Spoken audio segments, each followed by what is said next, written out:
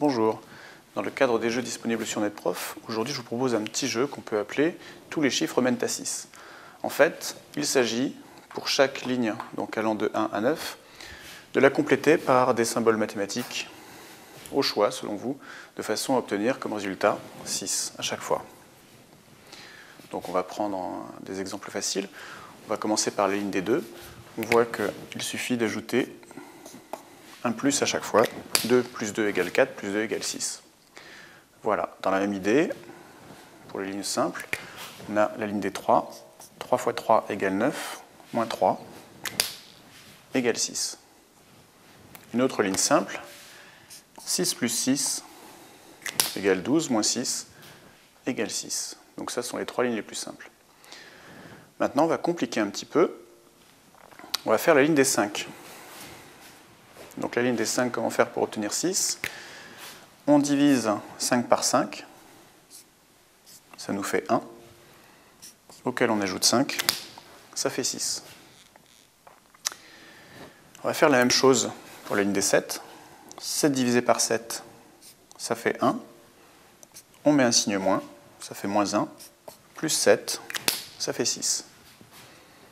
Donc maintenant je vais écrire en rouge parce que ça va être un petit peu plus difficile. On va prendre la ligne des 4. Alors, 4, on va considérer la racine carrée de 4, c'est-à-dire 2. Racine carrée de 4 plus racine carrée de 4 plus racine carrée de 4, c'est-à-dire 2 plus 2 plus 2 égale 6. On revient à cette ligne-là. Et puisque la ligne des 4 nous a fait revenir à la ligne des 2, on va prendre la ligne des 9 qui va nous faire revenir à la ligne des 3. On va prendre la racine carrée de 9, c'est-à-dire 3, fois racine carrée de 9, c'est-à-dire 3 fois 3, moins racine carrée de 9, moins 3 égale 6. 3 fois 3, 9, moins 3 égale 6.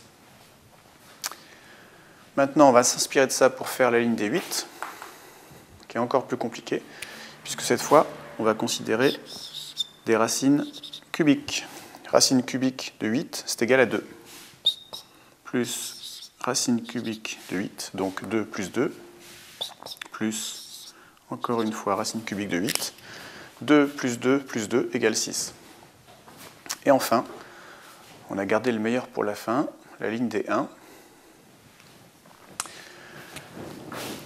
On va faire ça. On va mettre 1 plus 1 plus 1, ça fait 3. Et tout ça, on va le mettre en factoriel.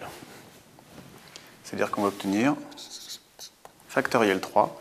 Factoriel 3, par définition, c'est 1 fois 2 fois 3. Donc 1 fois 2, 2 fois 3 égale 6. Donc la ligne des 1, 1 plus 1 plus 1, le tout factoriel égale 6. Donc voilà qui termine ce petit jeu qu'on avait appelé Tous les chiffres mènent à 6. Donc je vous dis au revoir et à bientôt pour d'autres jeux sur NetProf ou d'autres cours.